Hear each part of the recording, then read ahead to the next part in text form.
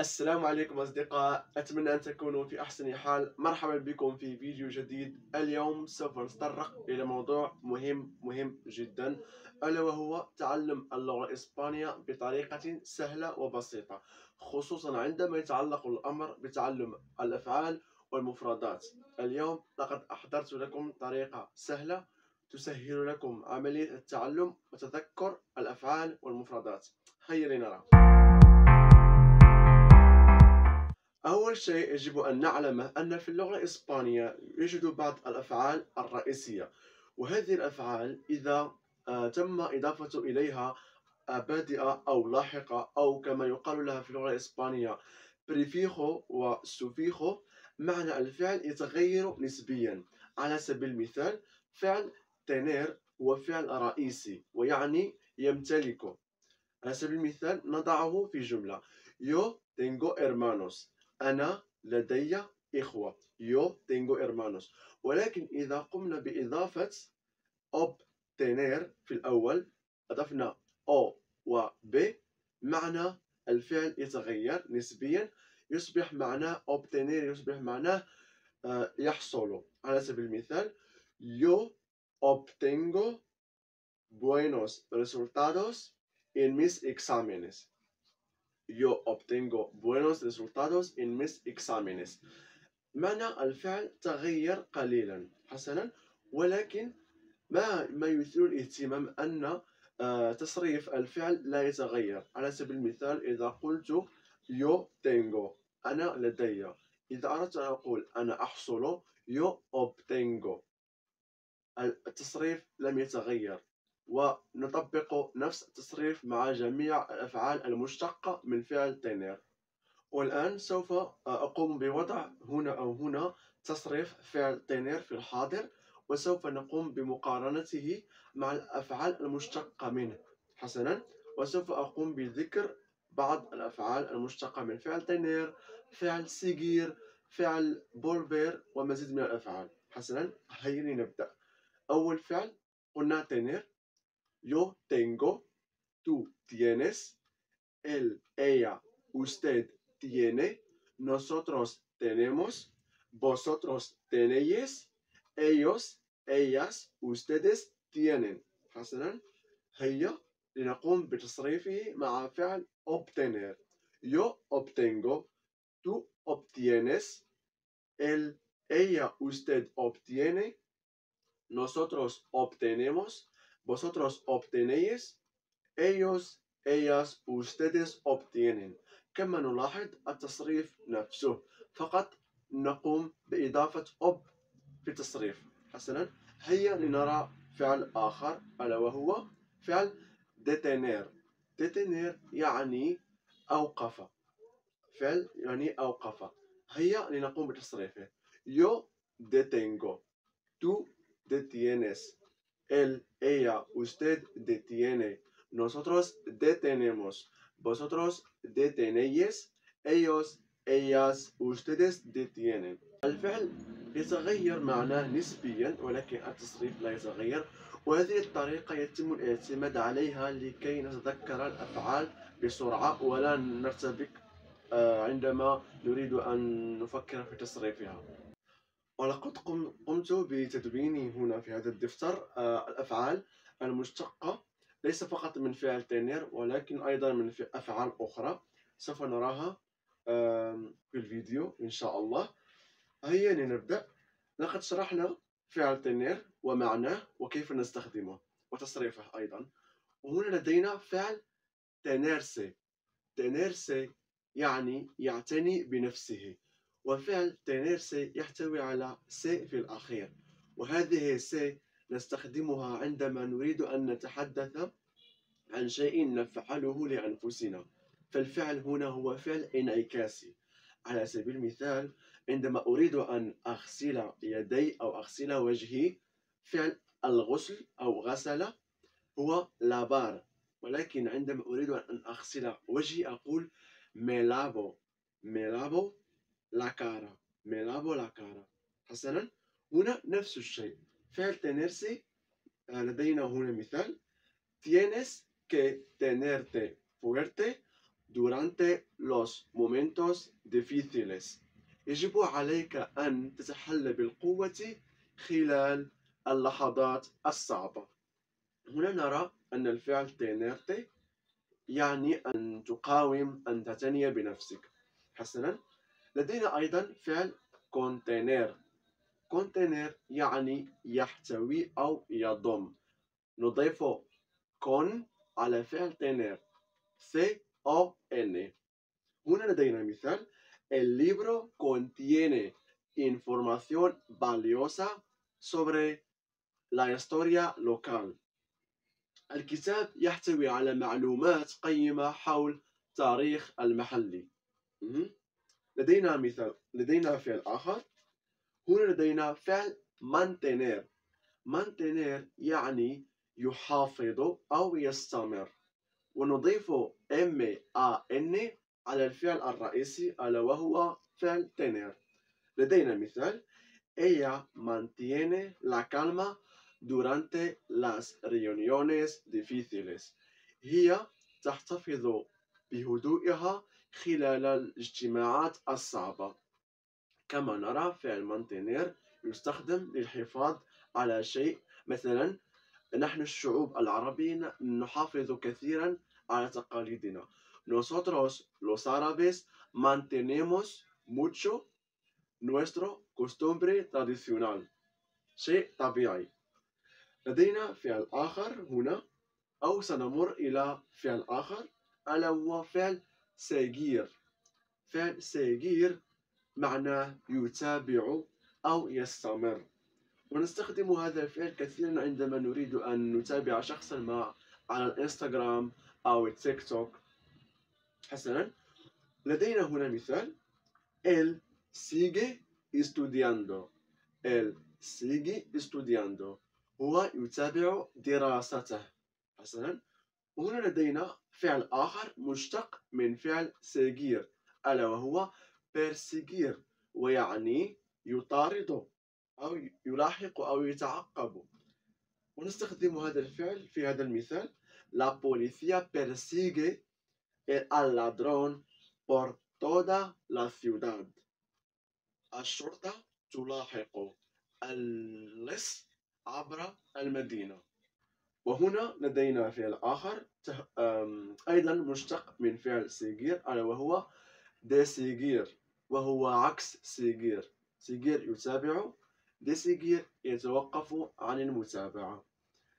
مثال Mi padre desigue las noticias desde hace un mes توقف أبي عن متابعة الأخبار منذ شهر مضى.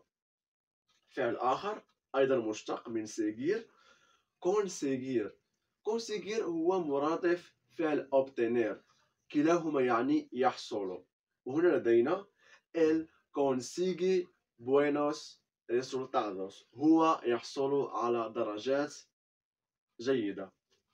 نمر إلى فعل آخر ألا وهو فعل poner فعل poner يعني يضع أضع شيئا ما فوق شيء آخر.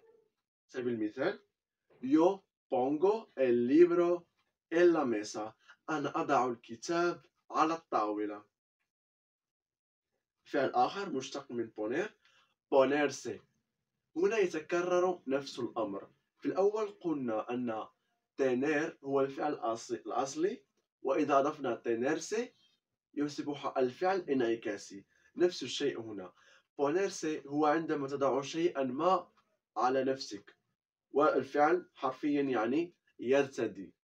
ponerse يعني يرتدي مثال me pongo me pongo أيضا نقوم بتغيير se se هو ضمير يتعلق بهو أو هي أو هم أو هن ولكن عندما أريد أن أتحدث عن نفسي يجب أن نقول me pongo el abrigo antes de salir de casa.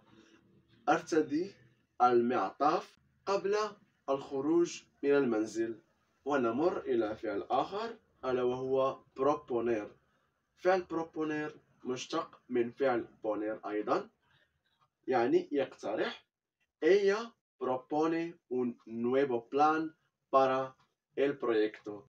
هي تقترح خطة جديدة من أجل المشروع. هيا لنمر إلى فعل آخر.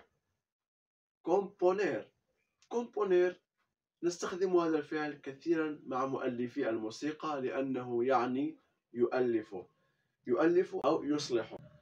Ellos componen música hermosa para la fiesta. هم يؤلفون موسيقى جميلة من أجل الحفل. لدينا فعل آخر exponer. Exponer. كما لاحظتم فقط نضيف prefijo نضيف فقط prefijo على جميع الأفعال والمعنى يتغير قليلا ولكن يسهل حفظها بهذه الطريقة. exponer يعني يعرض أو يقدم. Tú expones tus ideas en la reunión de hoy. أنت تعرض أفكارك في اجتماع اليوم. لدينا فعل آخر. imponer. imponer يعني يفرض أو يضع. في الأول قلنا poner يضع ولكن عندما نضع شيئا ملموسا على شيء ملموس آخر. ولكن imponer نستخدمه عندما نتحدث عن وضع القوانين أو فرض القوانين. هنا لدينا مثال. El gobierno impone nuevas regulaciones para mejorar la seguridad. وهنا فعل آخر. Reponer. يعني يستعيد أو يستبدل مثال cada mañana repongo yo أنا repongo las provisiones en la despensa فعل آخر suponer suponer يعني يفترض أو يعتقد مثال supongo que llegarán a tiempo para la boda Supongo que llegarán a tiempo para la boda. أفترض أو أعتقد أنهم سيصلون في الوقت المناسب للزفاف. والآن نمر إلى فعل آخر وهو فعل أثير. فعل أثير فعل مهم ورئيسي جدا في اللغة الإسبانية. نستخدمه كثيرا عندما يتعلق الأمر بفعل شيء ما لأن الفعل أثير يعني فعل فعل باللغة العربية. هنا لدينا مثال. يو أغو ejercicio todos los días. أنا أقوم بالتمارين كل يوم. ولدينا هنا deshacer فعل مشتق من فعل أثير فقط نضيف des إلى الفعل الأصلي. ويعني فكك. هنا لدينا مثال ella deshace el paquete para ver su contenido. هي تفكك أو تفتح العلبة أو الطرد لكي ترى محتواه وهنا فعل آخر مشتق من فعل أثير وهو رياثير رياثير يصلح أو يعيد بناء لدينا مثال el rehace los documentos el rehace el documentos هو يعد أو يصلح الوثائق لدينا فعل آخر وهو فعل ديثير أيضا هو فعل مهم جدا في اللغة الإسبانية وهو يعني فعل يقول yo digo tú dices él ella usted dice nosotros decimos vosotros decís ellos ellas ustedes dicen حسنا الآن هيا لنرى مثال nosotros decimos la verdad Nosotros decimos la verdad. نحن نقول الحقيقة.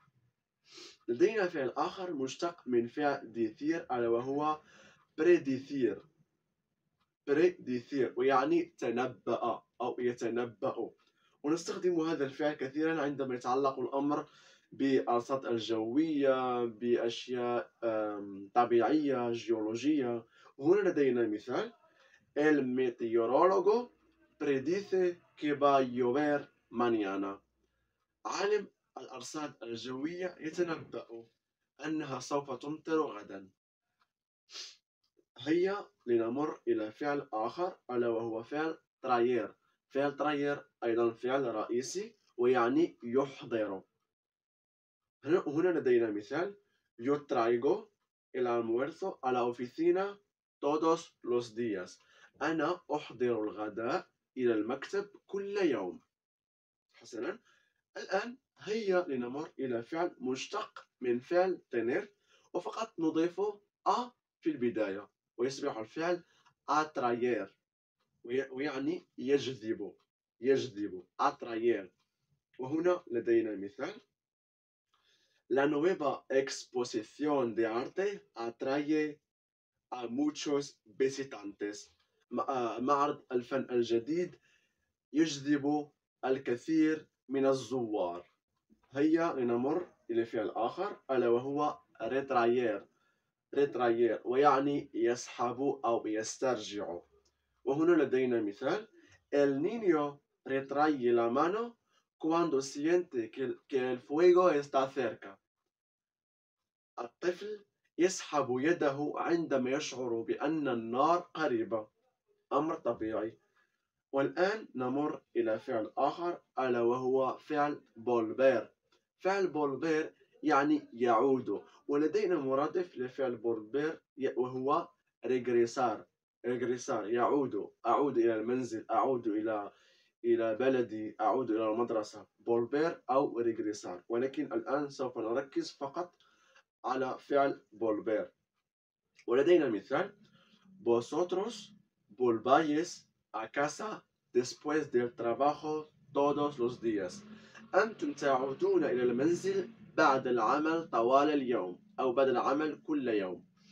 لدينا فعل مشتق أيضا ونفس الشيء هذا الفعل انعكاسي نضيفه سي في الأخير volver سي ويعني أصبح أصبح لدينا مثال توضيحي él se vuelve más atento medida que pasa el tiempo él se vuelve más atento a medida que pasa el tiempo هو أصبح أكثر انتباها مع مرور الوقت. لدينا مثال آخر devolver devolver فقط نضيف في أول الفعل. ذي وتعني يعيد. على سبيل المثال أعيد لك النقود تعيد لي أغراضي على هذا النحو. لدينا فعل هنا. آه، لدينا مثال.